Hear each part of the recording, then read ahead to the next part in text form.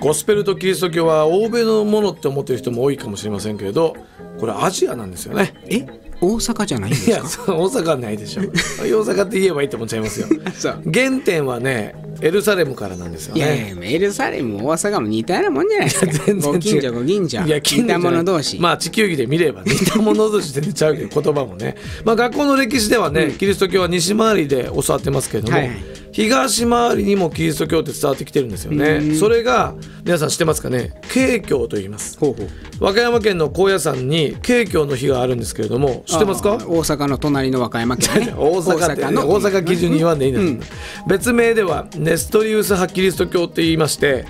2世紀当時はですね異端とされたのでキリスト教の歴史の中ではまあ評価されませんでしたが、まあ、今考えるとまあ異端ではなかったんじゃないかと言われていますよね、え異端って？まあ、間違った教えのことですよね。あイカピーも異端児って言われてますからね、うん間違った教えしてる人ってことで。す じゃあ異端児ってまた意味違うから。う。あのあ違う。型破りみたいな感じで、はい、ドイツのマルチン・ルターもね改革改革者やったから、異端って言われてたしね、ん。まあフォローしとくわ。違う違う違う別に俺の俺のフォローせんね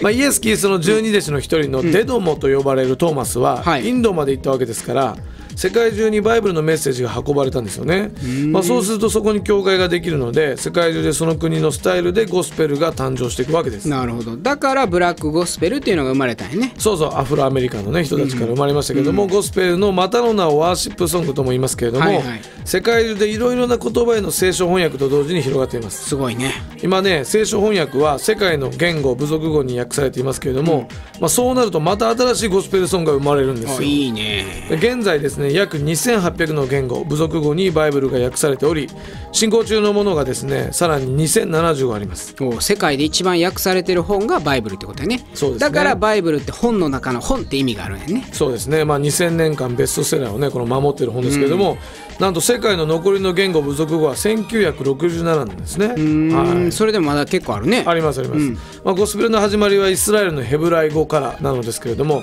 それが今やですねこんな数の訳になってるんですね、ゴスペルが誕生したのが2013年前のイエス・キリストの誕生日ですから、まあ、10世紀までの翻訳のペースよりこのわずか100年の方がですねずっとこの翻訳が進んでるんですね。